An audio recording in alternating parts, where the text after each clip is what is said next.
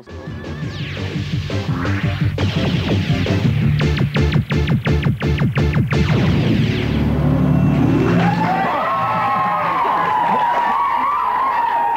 So it's two points for a correct answer, one bonus point if you get it wrong.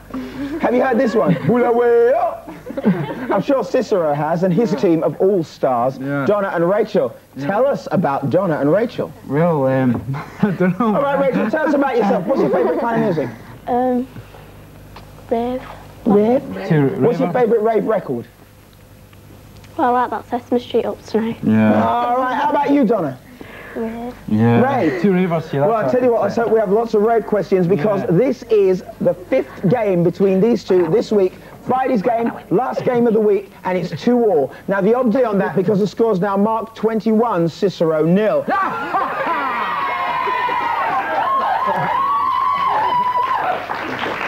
But bearing in mind that there are five points for every correct answer, the score is very misleading. Here's the first of your five. It's Stardate 88.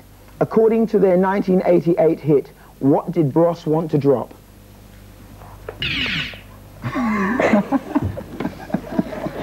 Drop.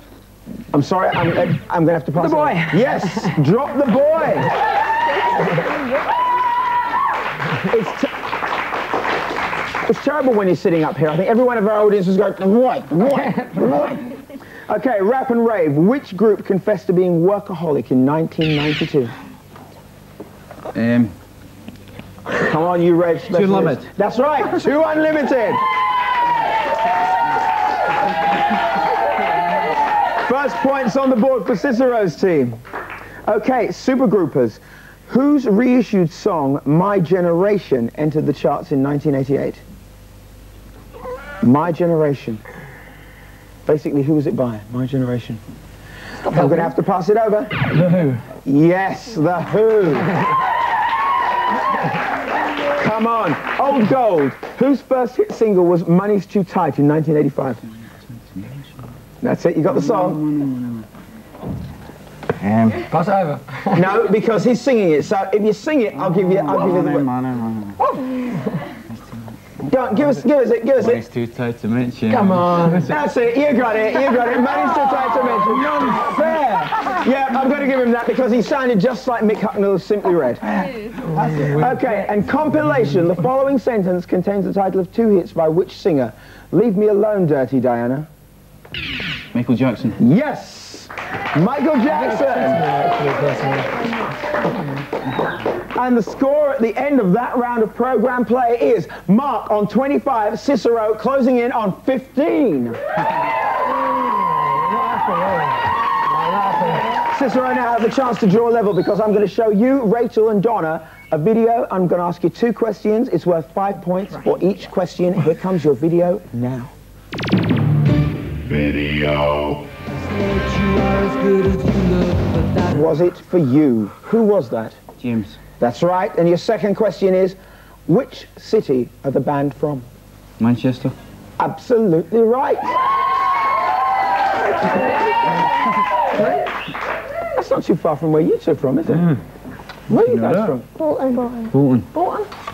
It's down the road. I know, just down the road. You probably know James, actually see him at the supermarket or all the rest. In time, all clues done. Prefab, Sprout, Miss You Like Crazy, Paula, Abdul, Deeply Dippy, and Wilson Phillips. The scores at the end of that round are Mark's team 31, Cicero's team only two behind on 29. Um, Rachel, Mark, I'm going to show you your video, ask you two questions, five points per question. Here it is. Video.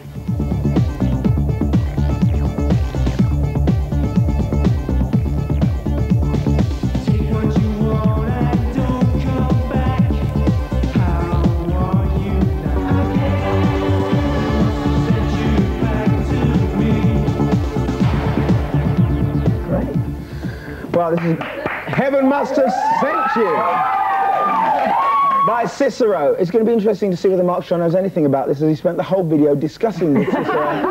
oh, where did you get those swimming trunks from? okay, who produces Cicero's records? Rachel, do you know?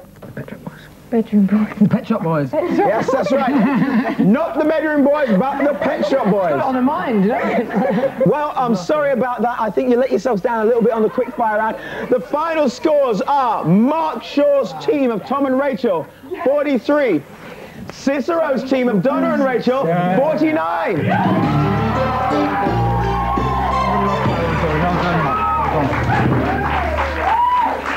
Both excellent scores. Thank you.